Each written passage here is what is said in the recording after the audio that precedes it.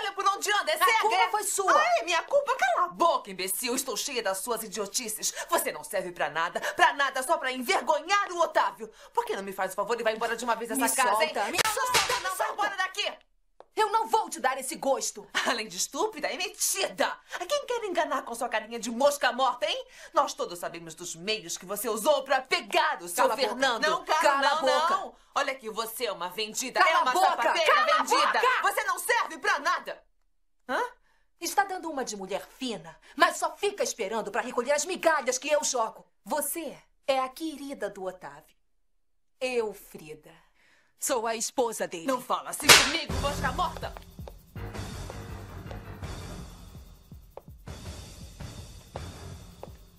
Não quero mais olhar para sua cara. Saia desta casa e da minha vida. Eu sou a senhora Vila Real, a dona desta casa e da fábrica. Não quero mais te ver nunca. Saia agora mesmo, por bem